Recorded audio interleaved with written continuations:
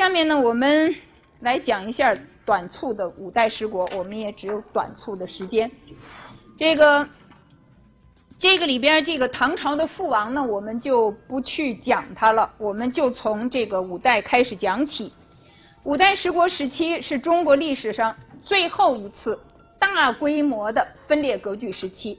那么这个大规模的分裂割据呢，我们可以看到，它在这个唐代后期藩镇割据的这个基础之上，应该说呢，这个时期的这个分裂是一个上上下下、层层叠叠的非常彻底的一个分裂的局面，然后非常彻底的分裂的局面。当时呢，中原地区是前后相继的五个王朝，这个就是五代前后相继的五个王朝。而在它的周边，而在它的周边，先后不是说同时，先后存在过十个小国，啊，存在过十个小国。那么这个呢，就是我们通常说到的这个五代十国。嗯，首先呢，我们来看一下这个五代的简表，这是一个大致的呃表格了。呃，前面一栏呢是政权，然后谁创建的，哪个年代，它的都城在哪里？我们可以看到五代的都城基本上都是在开封，都是在开封，除了这个后唐，除了后唐，这个五代里边呢，这个五个政权在当时呢是一共是多长时间呢？公元九百零七年开始，北宋是什么时候建立？公元九百六十年，对吧？公元九百六十年，那么五代总共是多长时间呢？五十三年的时间，五十三年的时间。这五十三年里，五个朝代，八个姓氏。这个欧阳修也特别说到这个问题。本来一个朝代应该是一个姓氏，但是当时呢，因为有很多都是准血亲关系。就是一些养子、一些义子，对吧？他不是真正是皇帝的儿子，而是在战场上呢，比方说救过皇帝的命，或者皇帝把他提拔起来了啊，提拔起来了。当时这个皇帝可能还不是皇帝，是个节度使，那把他提拔起来，他变成他的这个精锐部队里边这个这个节度使的一个养子、一个义子。那么后来呢，这个人做了皇帝，所以呢，在这里边呢是有一些准血缘关系，有些准血缘关系。因此呢，当时是八个姓氏，有说是八姓十三军，其实呢，这个加上耶律德光，他也是在洛阳这个地方即位的。那么应该说呢，前后一共是十四个皇帝，五十三年，五个朝代，八个姓氏，十四个皇帝，大家可以算算，平均每个皇帝是多长时间？所以当时的这个政权的更迭，就像走马灯一样，然后就像走马灯一样，非常的频繁。而在这个五个朝代里边呢，中间的这三个，我们可以看到，他们都是出自沙陀的，都是出自沙陀的。沙陀呢，本来它也是一个西突厥的一个所谓的别种，别种其实就是一个部分吧，一个一个一个支脉啊，一个支脉。沙陀本身它就是一个民族共同体。它不是一个单一民族，当然我们说到沙陀族，我们会感觉它是一个民族，实际上它不是一个单一民族。那么沙陀里边呢，其实包容了很多不同的民族，它包容了不同的民族，包括我们前面说到的突厥呀，我们曾经讲过的粟特呀等等，都在它这个回鹘啊，都在它这个民族共同体里边。而这个沙陀的力量呢，其实他们本来这个沙陀呢。他们本来在这个唐王朝镇压庞勋起义的时候，我们原来说到过庞勋起义。镇压庞勋起义的时候，他们曾经到内地来帮助这个唐王朝，所以那个时候呢，唐王朝就给他们赐姓李，赐姓李。因此呢，沙陀后来，让沙陀后来，我们可以看到李存勖，让他前面他父亲李克用，这个都是姓李的，并不是他原来姓李。他是因为唐王朝给他的赐姓，也正是因为这样，所以他建立的这个王朝叫什么？其实他自己不管自己叫后唐，对不对？他们也还是叫大唐。他觉得他就是唐代的一个继承人，是唐代的继承人。所谓的后梁、后唐，这都是后来的人回过头去给他们加上的这样的这个称呼。那么沙陀呢？他们其实是在这个汉地的边缘地带，啊，在汉地的边缘地带。那么这个时期呢，他们汉化的程度相对的来说也比较高。所以这个时期虽然沙陀这三个都是沙陀的王朝，但是呢，并没有引起什么民族歧视啊、民族纠纷呐、民族矛盾呢，并没有这样的问题啊，并没有这样的问题。那么这个是我们说到的这个呃五代时期啊，这个。这五个王朝，我们从时间上就能看出来，他们基本上是前后相继的，啊，是前后相继的。这个五个王朝里边呢，实际呃，在这五个王朝里，后唐啊，后唐已经开始有这种统一的努力，啊，统一的努力。当时呢，他已经把北方的这个区域基本上呢统一起来了。但是呢，在后唐过渡的时候，就是后唐的这个。过渡期间啊，实际上就有了这样的这个内部的这个纠纷，就是皇帝的养子和皇帝的这个驸马，驸马就是女婿了。那么这个之间呢，谁来继承这个皇位？双方呢其实都不容，相互不容。那在这个时候呢，就出现了石敬瑭把燕云十六州割给契丹的问题。那么石敬瑭呢，他是唐明宗的女婿，他是唐明宗的女婿。那么唐明宗呢，当时其实他还有养子，还有养子，所以这个这个之间呢，其实就构成为争夺这个皇位的力量，而且彼此呢都是身经百战的这个将领，谁也都不肯示弱。那么石敬瑭呢，他为了得到契丹的支持，契丹因为当时在东北方、北方是力量很大的，他是力量很强的，所以呢，石敬瑭呢就跟他们签了一个，等于是签了一个约吧。把当时的这个幽州管内的和其他的这个华北地区雁这个呃雁门关以北的十六个州都割给了契丹。那么包括当时呢，他自称儿皇帝，包括呢，他每年向契丹呢输帛，就是给他们捐帛三十万捐帛，以这样的条件换取契丹对他做皇帝的支持。那么这样呢，就建立了后晋，就建立了后晋。那么这个所谓的幽云十六州，和我们平常会说燕云十六州，我们也可能说幽蓟十六州，其实呢，指的都是这个十六州，都是这十六州。那么这个燕云十六州的割让出去，就使得这个华北平原的北部和游牧民族之间区隔的这个边界，特别是这个天险。这个天险山脉就不复构成为一个天险了，这个内地的这个边缘呢就大大的内缩了，啊，大大的内缩了。那么这样呢，这个五代他们的这个疆域和这个契丹之间的疆域就变成一个一马平川下的一个分隔了。那么跟过去呢就不一样了。所以呢到了宋代的时候，也有这个严重的问题，就是北边无险可守，北边没有可守的地方。那么这个局面其实就是石敬瑭的时候这个奠定的。那么这个时期呢，五代的时候，我们可以看到，当时这个包括这些节度使，我们这个两个框框里边左边的这个呢，等于是当时的武将。这个承德节度，刚才我们已经说过，他其实是这个河北三镇之一了。承德节度这个安重荣。安重荣是什么人？这些姓安的，其实他们都是那个时候沙陀的部将，那都是沙陀的部将。他们呢，实际上沙陀里边的索哥部，这个里边有大量的都是粟特人，啊，大量的都是粟特人。那么像他们呢，当时根本不相信这个天子命定这样的一种说法。他呢，当时就说：“今世天子。”兵强马壮则为之耳，那谁的兵强马壮，谁就可以出来做天子，那谁就能做天子。这个时期的文臣，这时期的文臣，我们可以看到这里边呢是冯道，是吧？讲的是冯道。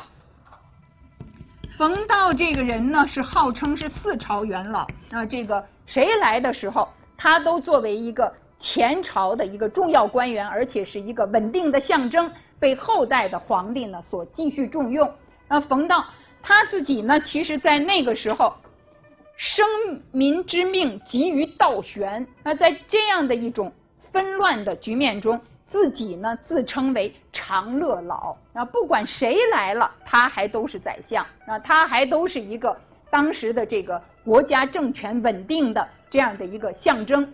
那么像冯道这样的人呢，其实五代的时候是受到很很高的这个评价，而且是受到尊崇的。当时呢，人家曾经说他的这个寿命是吧，这个是和孔子一样高的，那，都是高寿的人，所以敢能够拿他和孔子相比。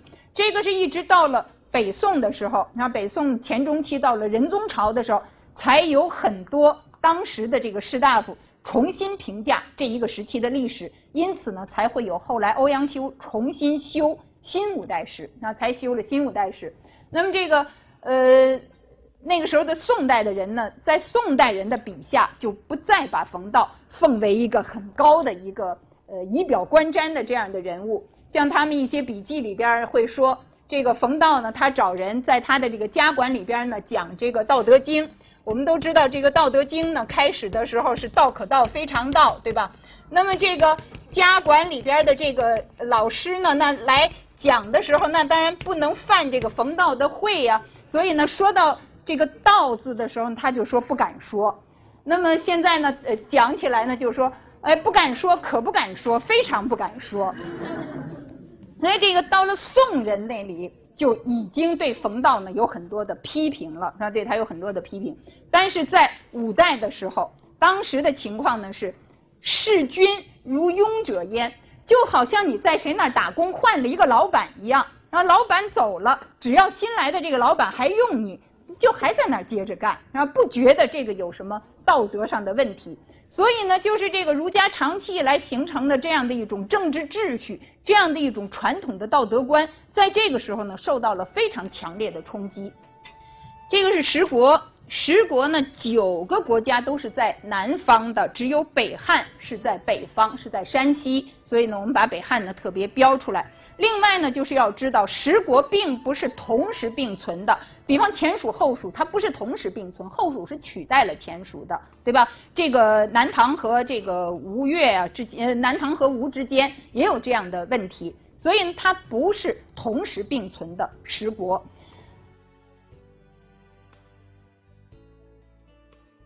总的来讲，十国的这个统治者，特别是南方的这个九国的统治者。因为他们控制的地方比较小，他们原来也就是一个东南的一个节度而已。后来呢，在中原这种纷乱的状态下，他们也自立了，他们也独立成为一个割据的小国。但相对来说呢，因为他们的面积比较小，所以呢，他们比较注重保境安民。不是总去征战，而是希望呢部内能够比较平定啊，能够比较平定。所以呢，我们将来会讲到经济重心的南移，会讲到南方相对于北方它的这种发展的这种呃，在这个时期呢，出了一个这个呃，就是一个扭转吧。那么和这种情形其实呢是有很密切的关系的，就是这种休养生息的政策，在。南方的九个小国里边，吴越南唐是比较强的。吴越南唐是比较强的，但是南唐呢，我们知道后来也是被这个宋太祖的时候被北宋那个灭亡了，是吧？被北宋灭亡了。而且这个南唐像这个李璟啊，像李煜啊，这些都是很最后呢是被以这个著名的词人这样的这个身份呢，呃，在中国历史上呢经常被人提及，啊，经常被人提及。呃，这个其实就像这个呃赵毅所说的，就是所谓的“国家不幸，诗家幸”，是吧？这个很多这个李煜的很好的词作，其实都是在他的这个小国家灭亡了之后，他呢这个词作里边呢有一种很慷慨陈郁的这样的一种情感吧，而且呢他把这个词过去呢是那些卿卿我我的这样的一些内容。扩大到了一些故国之思啊，这样的一些，使得这个词的这个局面呢，在这个时候有一个很明显的展开。这个五代呢，我们回过来讲，就是五代和十国这个时期，其实呢是一个走向统一的时期。那么五代时期呢，当时的帝王其实也都看到了所谓的五代为国，兴亡以兵，不管是兴。还是王都是靠军队，都是靠军队。所以呢，这个时期的兵制的整顿呢是很大的问题。这个在我们讲到唐代的时候，实际上呢，我们说到这个藩镇割据，呃，我们也应该知道，比方说中央为什么拿这个河北三镇没办法呢？很大的程度上呢，也是因为河北三镇的这些兵呢是比较精悍的，那是比较精悍的。那么国家呢也有一点这个鞭长莫及，也很难彻底解决这个地方的问题。到了这个时期，五代，我们可以看到中央所掌握的军队，它的力量和藩镇所掌握的军队的力量，这个力量对比有了根本性的转变。这个转变来自哪儿呢？这个时期的国家。这个时期的国家其实是藩镇摇身一变变来的，而哪一个藩镇能有这种实力摇身一变变成一个国家，他的这个藩镇的节度就能成为一个皇帝。这个是取决于当时在若干次的这种拼杀鏖战里边拼出来的。所以呢，他一旦做了皇帝之后，原来他的那个节度的那个精兵。也就变成了这个皇帝的禁军，所以这些禁军都是真正从战争里边打出来的而，真正打出来的。因此呢，在这个局面底下，当时的国家所控制的禁军，相对于地方上的藩镇，他们其实就有了一种强势，就有了一种强势。那么，聂崇奇先生在《宋史丛考》里边就说到这样的问题，他就说。五代的时候，政治上的大的问题是有两个：辅心之患是禁军，而肢体之患是藩镇。藩镇不听命于皇帝，这当然还是问题。但是这个问题是一种肢体之患，真正会威胁到皇帝的是皇帝的那个禁军，那个禁军，禁军的统帅是不是效忠？那么这是最大的问题。像这个。五代的时候，皇帝身边的人取而就是取皇帝而代之。实际上，我们看到禁军统帅后周的第一个皇帝郭威，他是禁军统帅，也是枢密使。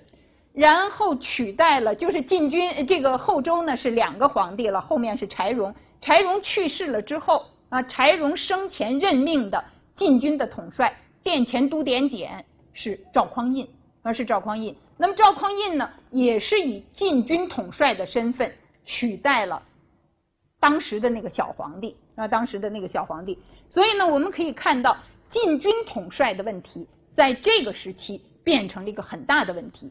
那为什么宋代建立了以后会有杯酒释兵权，是吧？也是要解决禁军统帅的问题。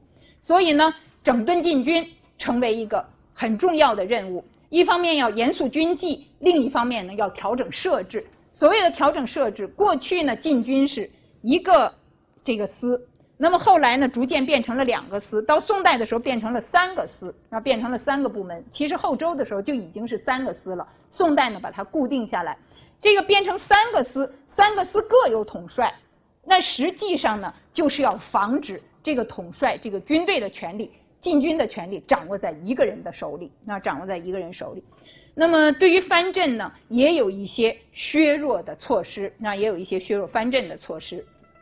那么后周的改革的趋势已经非常的明显了，而且当时呢就已经是走向统一。后周刚才我们说他有两个皇帝，其实还有一个恭帝，还有个恭帝一个小皇帝是世宗的一个儿子了。那么实际上，他的这个改革，包括这个统一的这些步骤，都是在太祖，呃，在这个后周的太祖和这个后周的世宗这个时候呃完成的。嗯，包括这个世宗那个时候呢，为了发展生产，为了减少这些游手，所谓游手就是到处游荡不干活的人啊。这个为了鼓励农耕，所以当时呢也有这个呃打击佛教的这样的一些行为，是吧？把这个一些佛教的寺院。凡是在国家那儿没有登记的这些寺院呢，很多都废除了，而且呢，让这些僧尼呢都还俗，回到国家的户籍上去。这样呢，我们可以看到周世宗，他和前代的北魏的太武帝、北周的武帝、唐代的武宗一起，被称之为三武一宗。什么叫三武一宗呢？这几个皇帝那，这四个皇帝在位期间都引起过佛教的法难。佛教的法难，就是都有过废毁佛寺，这个让这个强迫僧尼还俗这样的一些这个举措。这个后周的改革呢，当然也还包括，比方说澄清吏治，包括这个禁止这个地方上的军将来干政啊。呃，从这个《太祖纪》里边呢，我们也可以看到，他当时对于这个地方秩序啊，对于抓这个地方秩序、恢复地方秩序所采取的一些措施。这张图其实大家都很熟悉，这个是《韩熙载夜宴图》，对吧？为什么把这个图放在这儿呢？我们是要说到这个，呃，在当时后周和南唐并列的时期。在那个时候并列的时候呢，那当然，呃，实际上中国的南北的分界不是长江，是什么？淮河，对，是淮河。那么后周呢是在北方，对吧？这个南唐呢是在南方。当然，南唐的主要的地方它还是在长江以南了。当时呢，我们现在可以看到这个《李谷传》里边的这一段话。当时李谷和韩熙载是很好的朋友，但是那个时候。比较这个呃有知识有眼界的这些人，实际上都看到南北呢早晚是要走向统一的，而离这个统一呢也不远了。那么真正有力量统一的其实也有限，就是真正能在这个统一里边能够脱颖而出的国家也是有数的。北方呢，当然当时已经是后周了；南方呢，其实南唐是一个可能性，那南唐是一个可能性。所以呢，那个时候呢，这个。呃，韩熙载呢，当时觉得他在后周这个地方呢没有得到呃谁的这个重用，所以呢，他决定南渡。他就跟李谷说：“如果江东，他指的就是南唐，他们要是让我当宰相，我呢就要长驱以定中原。那早晚有一天，我是要统一中原的。”这个李谷呢就跟他笑着说：“假如中原像我，中原要是让我当宰相。”我下江南就像探囊中物，就像这个囊里边抓一个东西那么容易。那么后来呢？当然大家都知道，实际上呢也不是这个后周的时期解决了这个问题，但是呢是宋代的时候，这个问题呢终于是以北宋统一而告结束啊而告结束。所以就是在这一个时期，实际上呢大家心里边都已经。看到了这个趋势，看到了这个趋势。实际上，当时南唐的统治者心里边也是一直惴惴不安的，啊，是惴惴不安的。那么这个呢，是我们看到的这个后周的一个疆域图，后周的疆域图。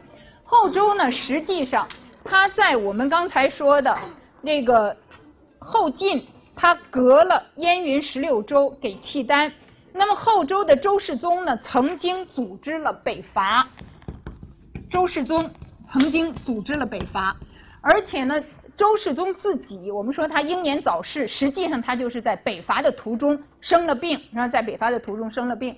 那么在这个北伐的这个过程里边呢，其实他起初的时候还是相当顺利的，所以呢，他从原来割给契丹的十六州里边收回来了所谓的关南十县地，就是打下来了一些地方。打下来了一些地方，如果不是他临时生病，也许呢还会有更多的进展。但是在当时呢，就是收复了一些地方。那么后来契丹和宋的交涉，就是到契丹和宋的交涉，很长时间契丹都是要求归还他这个关南十县地，要求归还关南十县地。所以呢，我们知道了这个背景，将来呢再看到宋代的一些材料的时候呢，我们就知道这些材料的前提。而这个周世宗呢，他这个实际上五代的时候，所有的皇帝，因为他们的这个政权更迭非常快，所以所有的皇帝都非常警惕着自己的政权被别人得到。而这个后周他的第一个统治者，我们说郭威，他本身呢就是一个禁军统帅，所以呢，在周世宗北伐的时候，非常警惕这个禁军统帅。当时的禁军统帅是什么人呢？就是殿前都检都点检是张永德，张永德是他的妹夫。